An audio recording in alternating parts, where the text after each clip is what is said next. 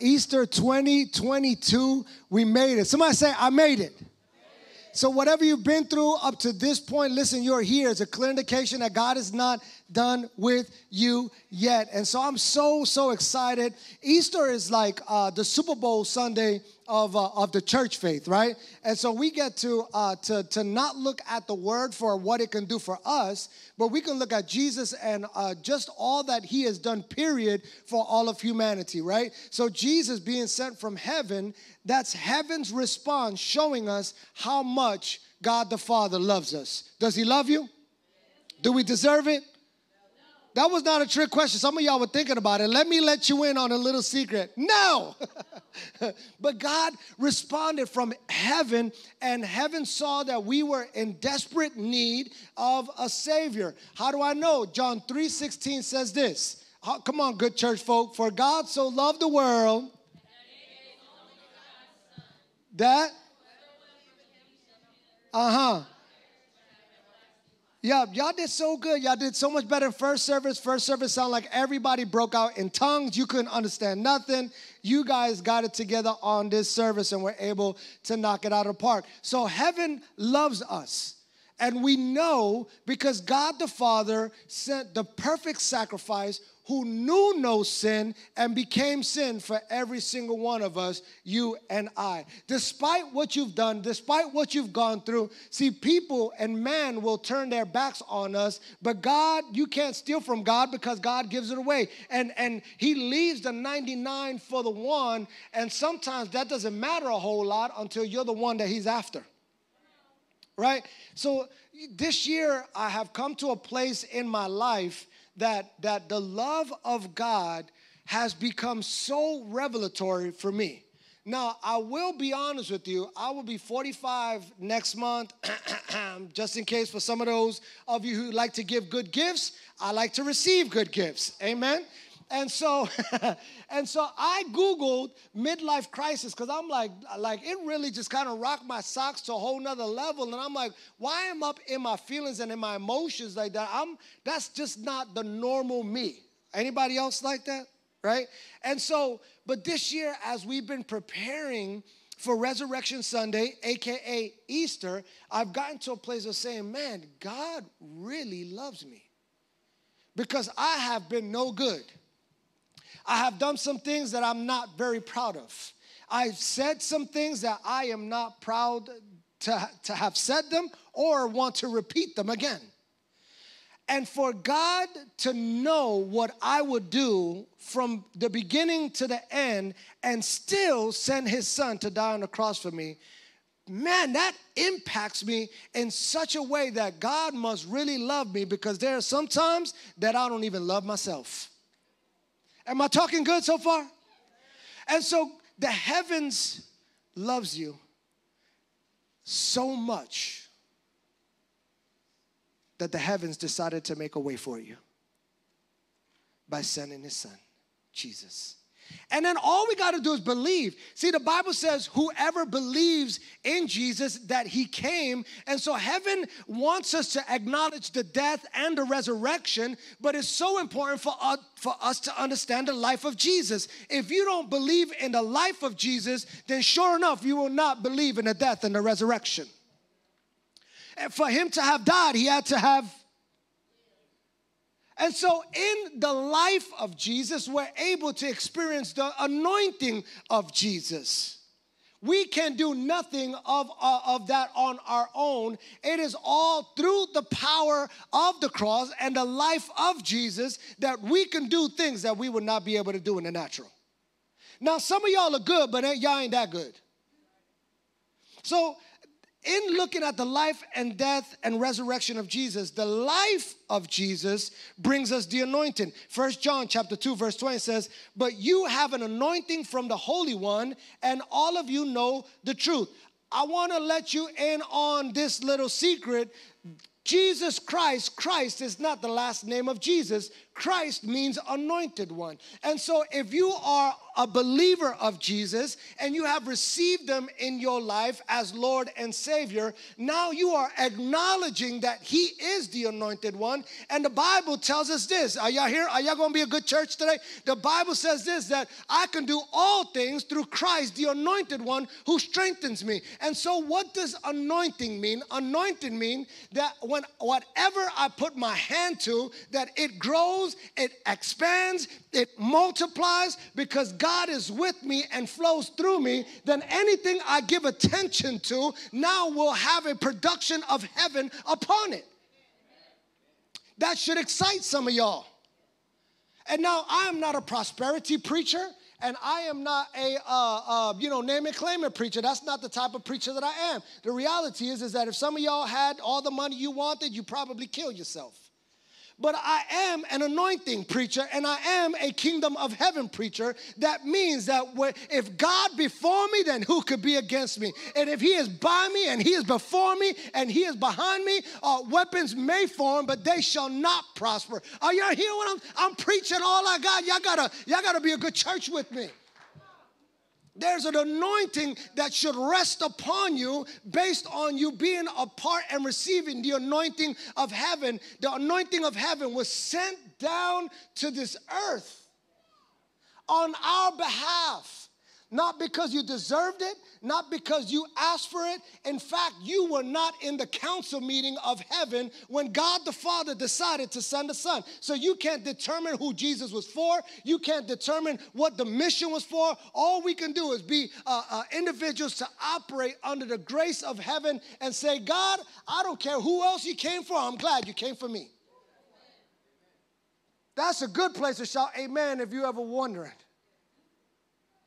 the anointing of heaven is, is, is an outpouring of, of God's power to accomplish a task through the anointed one. And so it's not that you have power. Some of y'all, I, I shook y'all hand before the service, and uh, and just then I saw you, brother. I don't know if you're working out, but you got some guns over there. I know you you got it going on, and some of y'all are really strong. You, sir, you you look like you could you could pack a mean punch. You got some power, but I promise you that your good becomes anointed when God sprinkles it on. Y'all, are y'all hearing what I'm saying? When the kingdom of heaven responds in a way like it did in sending Jesus to this earth, and we receive him into our life, all of a sudden now we get out of the line of doing only what we can do and stand in the line of doing what God can do. And those times where you feel like you can't, He pushes you through. And those times where there's not enough, He brings it together. And those times that you feel defeated, there's a victory. Are y'all hearing? Listen, when, when we can grab onto the life of Jesus, I haven't even gotten to the death and the resurrection portion yet. His life all by itself is good. Mamas, it's like when you when you saw your baby when it was born, and you were so excited, one, because he was out, and two, because you just love your baby and you were so excited for the joy that that child will bring to you. You were so happy. But this is the joy that we should be experiencing when we look at how heaven has responded in their love for us. Now, I don't know very many people that would give like the heaven gave for us. Now, when we look at the death of Jesus, the death allows you to break the yoke of the devil's clutches from your lives. Listen to this Hebrews chapter 2, verse 14 through 15 says, In as much then as the children have partaken of flesh and blood, he himself likewise shared in the same, that through death he might destroy him who had the power of death, that is the devil. Verse 15, and release those through fear of death were all their lifetime subject to bondage. So the death has its own little understanding that if we can grab onto it, we can walk in a level of freedom that we could not have walked in if we did not have Jesus in our life. Now, the life of Jesus brings an anointing on us that we can do things that we were not able to do before. Are y'all listening to me? And then uh, we get to the second part, and through the life of Jesus, now we see the death. And because Jesus died, now we are able to experience freedom upon our life. And the Bible says it this way He whom the Son sets free is free indeed. When Jesus died up on the cross, the veil was torn, and now we are able to walk free from bondage and free from sin and free from pornography and free from lust and free from addiction and free from depression and free from anxiety and free from lack of feeling like you're good enough and free. Are y'all hear what I'm saying? Free.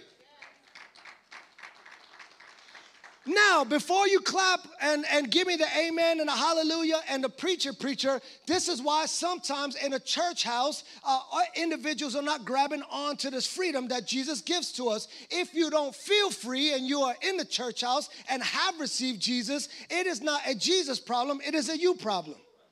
Because what happens is, is that the death of Jesus opens the prison gate, you must walk out.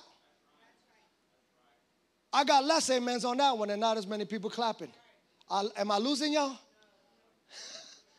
so when when Jesus accomplished the work uh, of, of, of what he did on the cross and the crucifixion, that moment, bondage from all who would believe was broken. Now it is then our responsibility to come up out of that prison cell and say, Devil, you can't hold me, you can't have me. I break every generational curse, I break everything that you tried to steal from me. You cannot control me, you cannot have my mind because I've received Jesus. No longer do you have have a grip on me.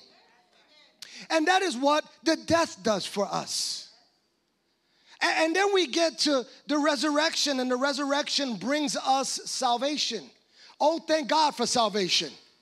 Now, I am not a once saved, always saved type of preacher. I was in the Marine Corps, hoorah, semper fi for any Marines out there.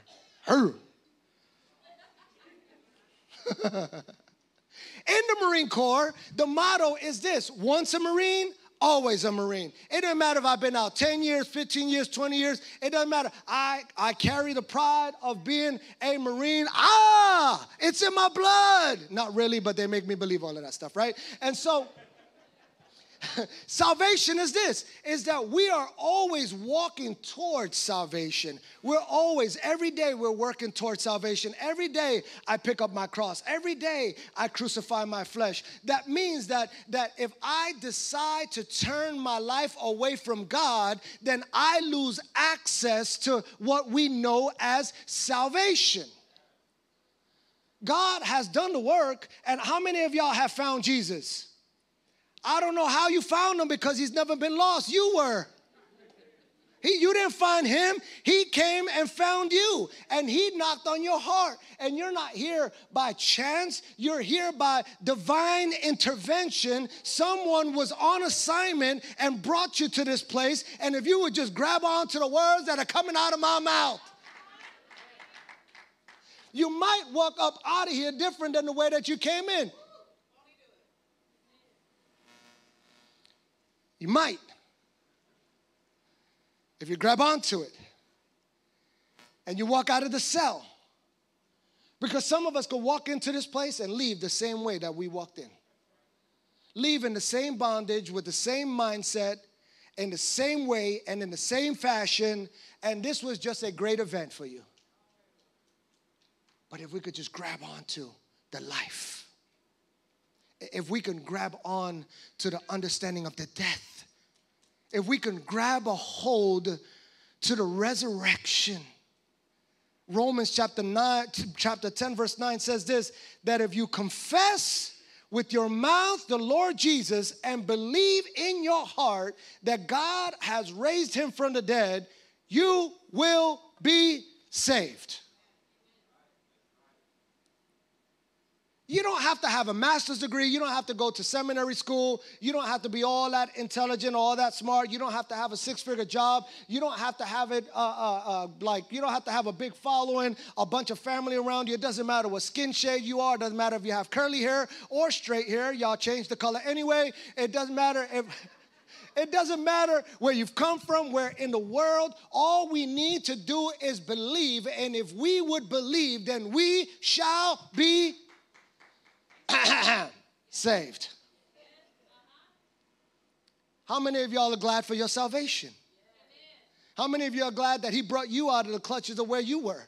and the pits of where you were. Now, I'm not saying that that every day is a good day. Did some of y'all have a bad day this week? Some of y'all have had a bad month. Some of y'all are thinking like I was hoping for a better year and here I am, Lord. It doesn't matter. The Bible says this that if you believe, God will take your mess and turn it into a message.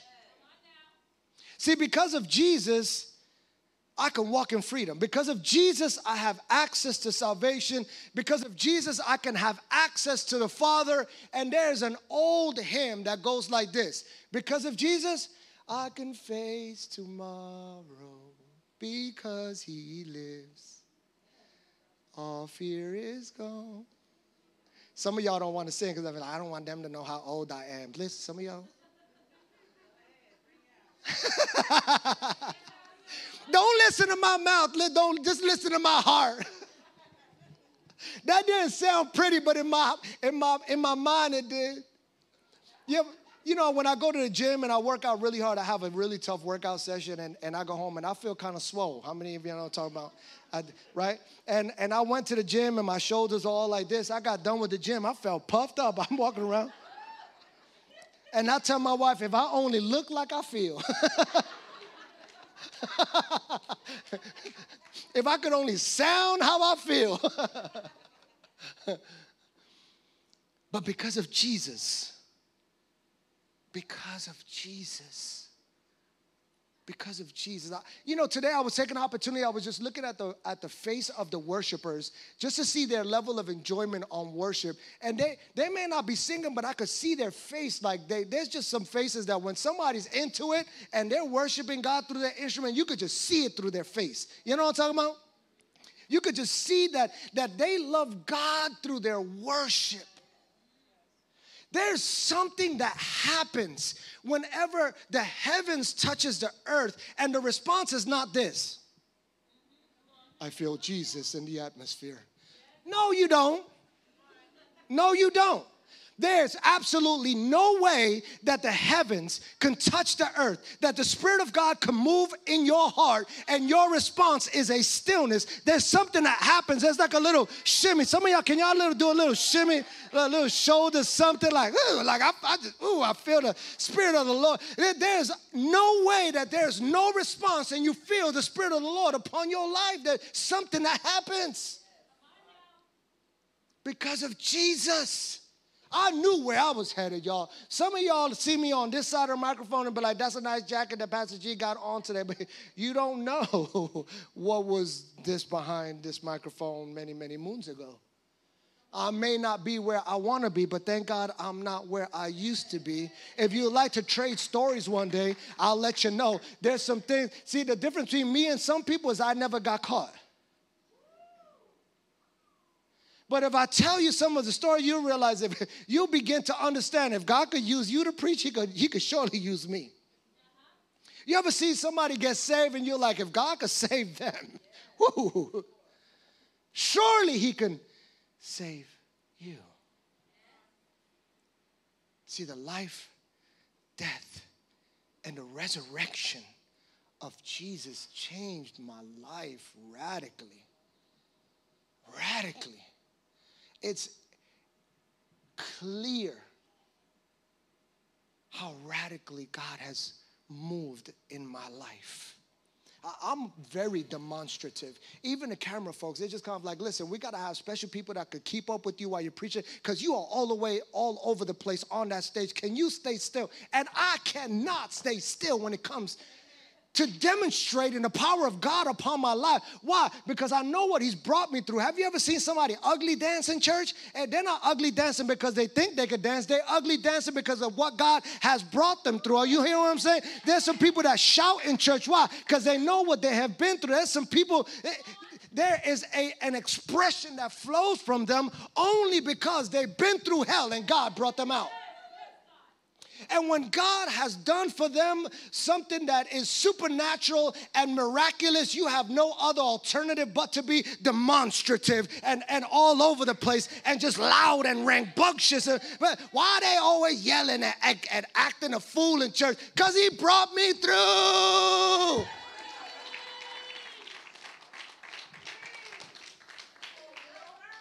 Hey, y'all gonna make me sweat. Ah, the life, death, and the resurrection has radically changed my life.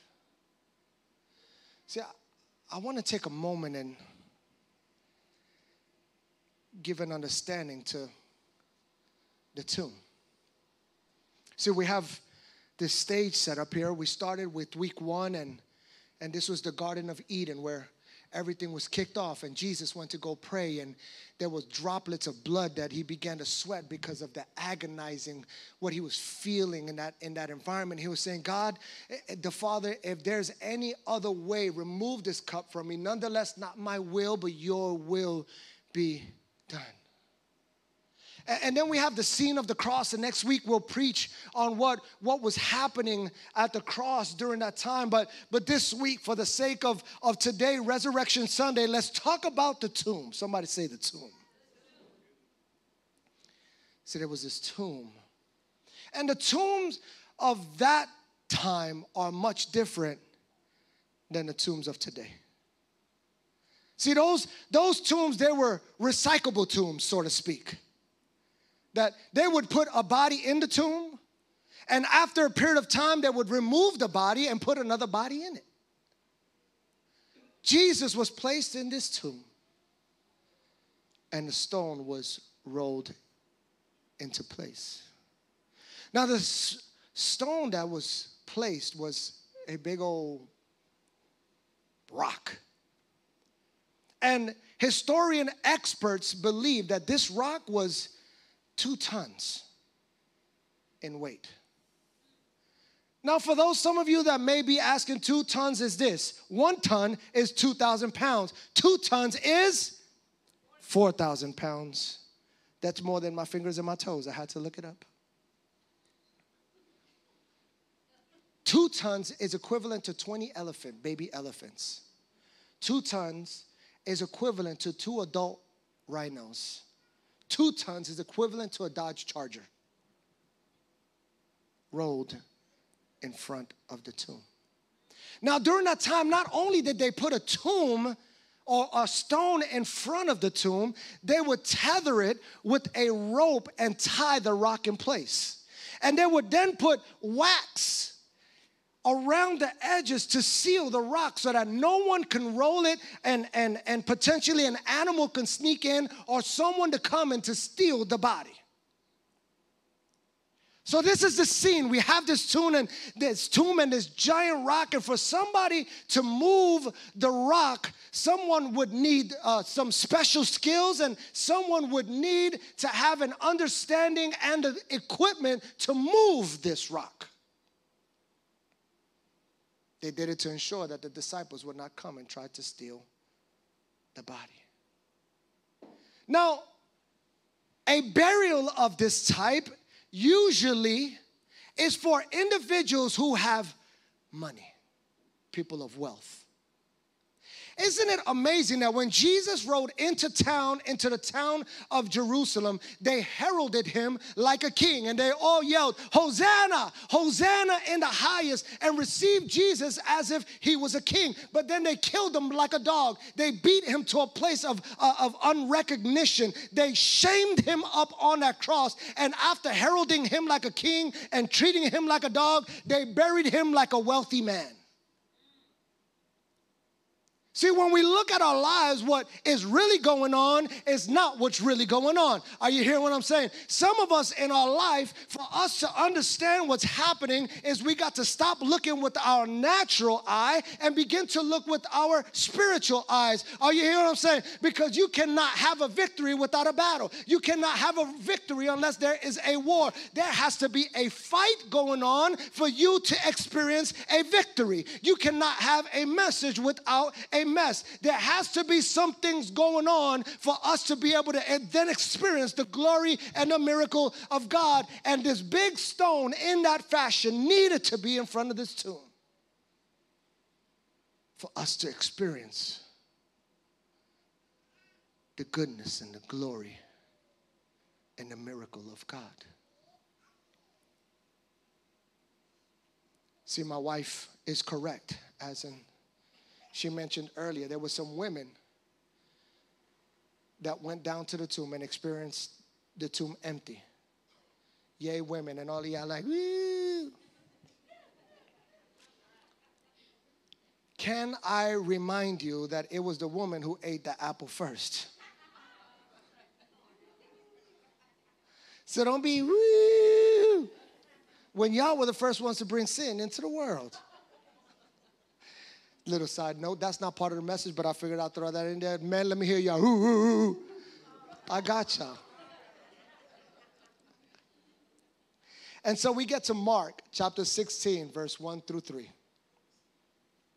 The women go down to the tomb, but they experience a problem.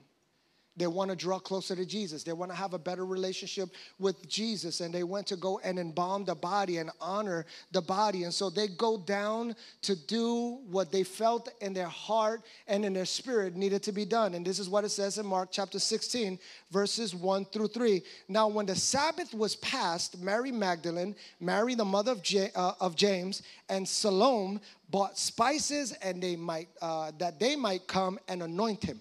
Verse 2 very early in the morning on the first day of the week they came to the tomb when the sun had risen. Verse 3 and they said among themselves who will roll away the stone from the door of the tomb for us? Now god began to give me some revelation in regards to this big rock in front of the tomb See, they went to go honor Jesus. How many of you have ever tried your best to honor your relationship with Jesus? How many of you have ever gotten to a place where you're saying, you know what, I just want my relationship with God to just be, I, I, we just need to be rock solid. We, I want, I want my relationship to be great. I want to fall in love with Jesus all over again. Do you remember the first time that you were baptized? Do you remember the first time that you received Jesus as Lord and Savior of your life? Do you remember that moment? Or, or perhaps you haven't done any of those and you're saying, I don't know what's going on, but I feel like God is calling me and I want to draw closer, but I don't know what the next steps are. And this is what this is what God brought to my heart that some of us are like Mary and uh, uh, Mary, the, the, the, the mother of James, and Mary Magdalene, we're like these women, and we are at a place of saying, I want to draw closer, but who will move away the stones that are blocking me from drawing closer to Him?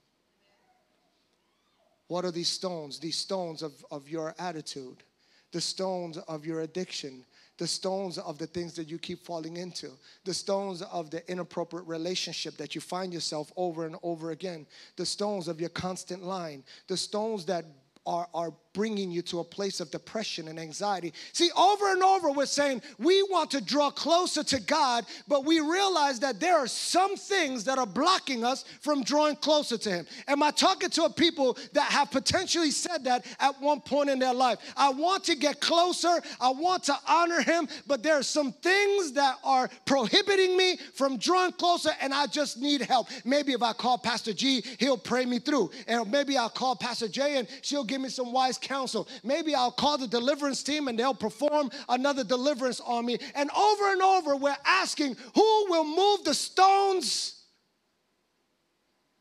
that are blocking us? These stones that they seem like they're immovable like they're unshakable and that they're unbreakable, and it will require someone to move them on our behalf. And then Jesus says, Listen, I'm the great exchange. And because of what I'm doing, you won't need anyone else to move those rocks. I will move those rocks out of your life for you. I will ensure that that that my relationship with you is not based off of what someone else can do, but will be based off of what I have already done. Has Jesus done anything for any of you? God removes every excuse as to why we can't draw closer to Him. The heavens made a way where there was no way so that we can be in relationship with Him. There was a great exchange already done. And so, if you're in this place and you're feeling like you just don't know what next step to take, the step was already taken for you. It is just our responsibility to receive from heaven the greatest love story. Got to the tomb, they saw that the stone was rolled away. And in the book of Matthew, it gives us an understanding of how an angel of the Lord came down and rolled the stone away. He says that he even grabbed the stone and, and as he moved it out of the way, that the Roman guard was so afraid that he fell to the ground as if he was dead. And Jesus comes out of the tomb. The resurrection story. See, this is before the women even arrived. That Jesus came out of the area of the tomb. The women did not have to roll the stone, the stone away. They didn't have to try to come and work. They didn't, they didn't have to do anything. The job was already done. Wow. See, the reality is, is that some of us that want to draw closer to God in this place constantly are looking for all of the excuses as to why we can't. Well, God, you know that I'm really busy. I got a lot of stuff going on. And God, you know my, my family. And God, you know this. And God, you know that. And we're constantly having all of these reasons as to why we can't draw closer to the Lord. And we say things like this like, God knows my heart. Well, He does know your heart. The Bible says this that our hearts are desperately wicked. But Jesus is saying, listen, I've already removed the stone. Will you receive me? The work is already done, it's already been accomplished. Will you receive of the salvation that I'm offering you? It cost you nothing, but it cost me everything. See, this Resurrection Sunday, it, it's not just about coming to a good church service. It's about saying, Jesus, I need you in my life. Because without you, I cannot.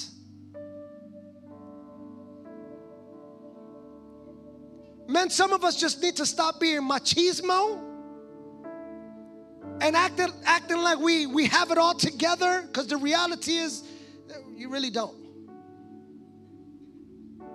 And ladies, get into a place of believing in yourself and, and believing that you are as great as God created you for.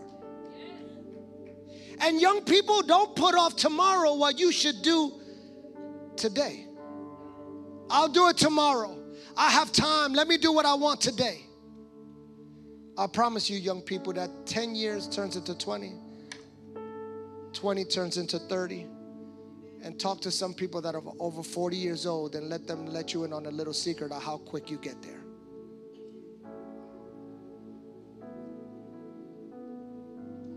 Jesus already removed the stones. The stones that you battle with day in and day not, day out.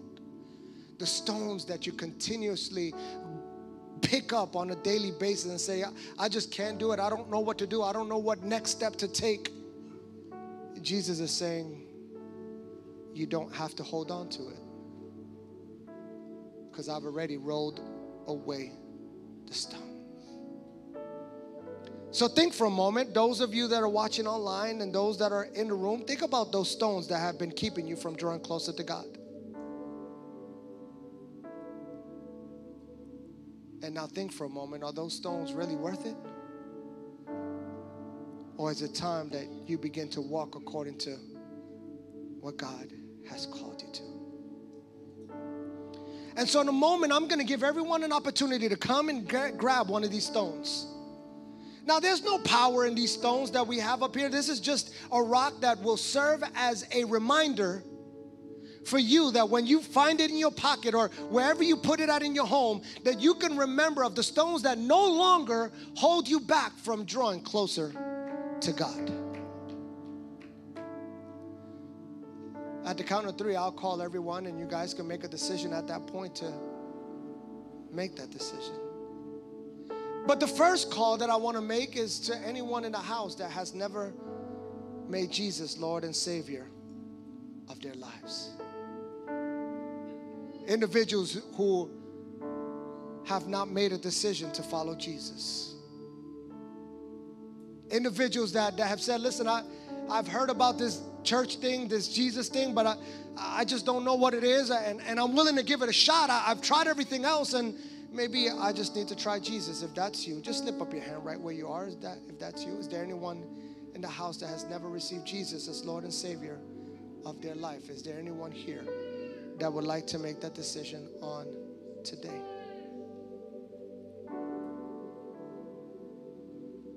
Perhaps you're here and you're saying, Man, I've backslidden and I just I've fallen off and I'm ready to come on back home. And there are things that have been blocking me, but I will no longer allow them to keep blocking me in my life. If that's you, just slip up your hand right where you are. Is that anyone? You guys come on up and come and get your rocks. Come on up and get your rock. Come on, y'all. Y'all celebrate them. Hallelujah. Who else is needing a rock and saying, I just need to rededicate myself? Go ahead and grab your rock here. You guys just stay up here for a moment and I want to pray for y'all before you go back to your seat. Come and get your rocks. Here you go. Come and get your rocks. Hallelujah. Thank you, Jesus.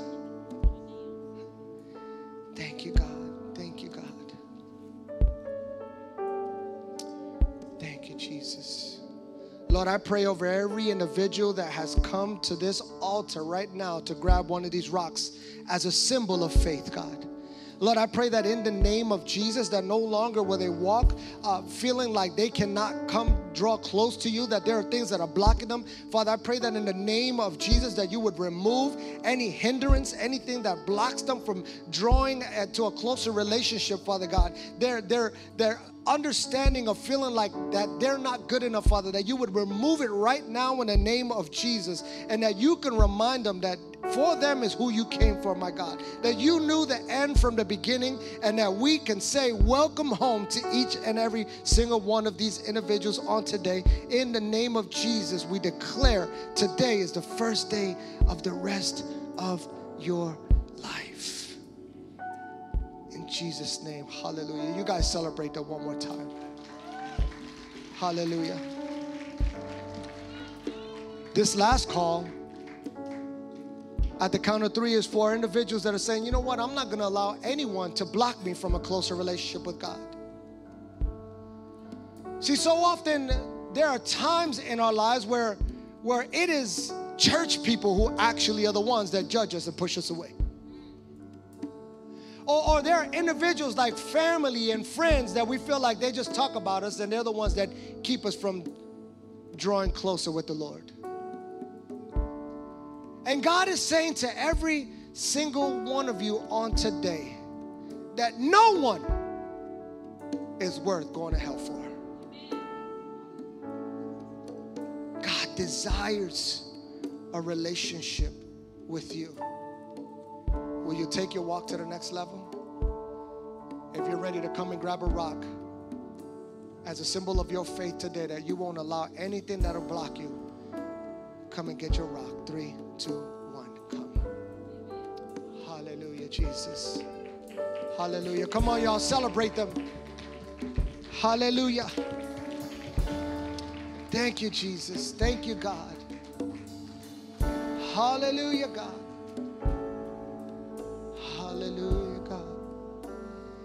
God. I pray over every single one of these individuals that have taken a step of faith on today that they would not allow anything that would stop them from drawing closer to you, Father God. We pray for, for a new level of faith, Father, that they would go from glory to glory, from faith to faith, Father God, that they would allow the, their walk to not be, uh, uh, uh, that, that no barrier would come against them, that there would not be anything that would stand in their way, God, that you would remove the people that don't belong in their lives, that you would remove the mindsets from them in the name of Jesus, God. We declare freedom over their minds and freedom in their lives on today, Father God. Lord, we thank you that you are the great exchange. We thank you that in you there is life, and in you, God, that we can have it more abundantly. We are so grateful, God, that you didn't leave us in the pit of our sin. You didn't leave us in, in a dark place, Father God, but you came for us because you loved us so much so. Thank you, God. Just tell them thank you right where you are. Hallelujah. Thank you so much. Guys, thank you so much for being a part of our service on today. Listen, if you have any prayer needs, we would love to pray with you. So send them on over. Our hope and desire is that the message was an impact to you and your children and your entire household. We take our motto here seriously. Why do life alone? Listen, there's no reason why you should do life alone. So come and be a part of Do us. Let's do us. life together.